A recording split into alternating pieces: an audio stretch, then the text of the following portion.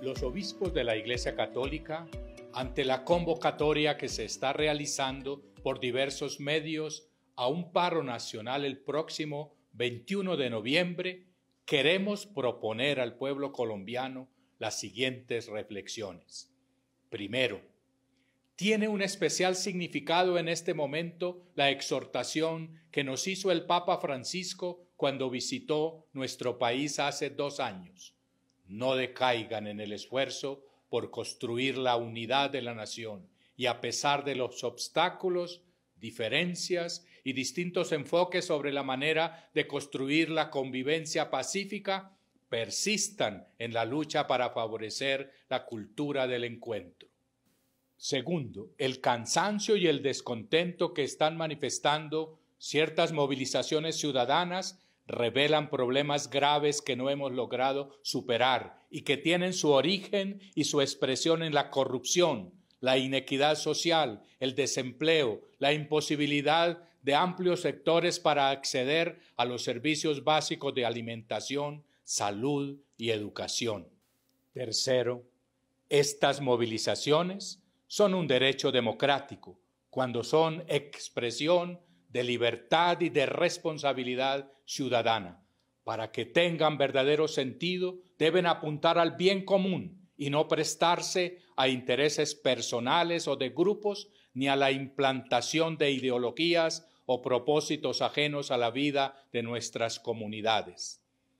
Cuarto, por la misma razón, hay que evitar que la movilización ciudadana degenere en agresión, saqueo, vandalismo y muerte, que afectan la mayoría de las veces a los más pobres.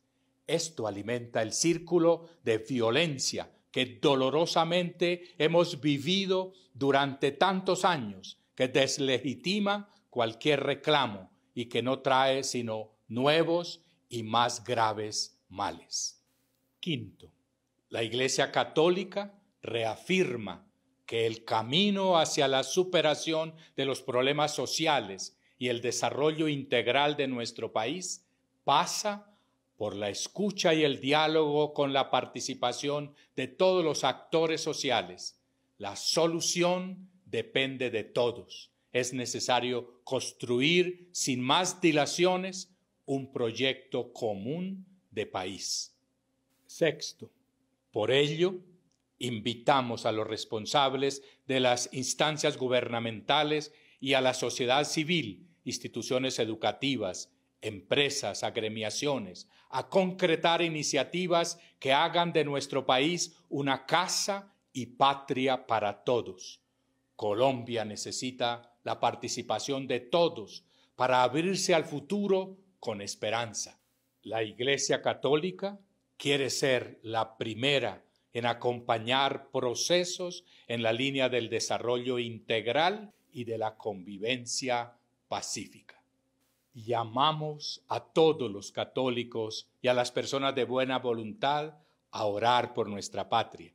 Para este domingo 17 de noviembre, en el que la Iglesia realiza la Jornada Mundial de los Pobres, convocamos a las comunidades parroquiales a pedir en cada Eucaristía por Colombia, así como nos lo indicó el Santo Padre. Levantemos los ojos al cielo, pues Dios es capaz de desatar lo que para nosotros parece imposible.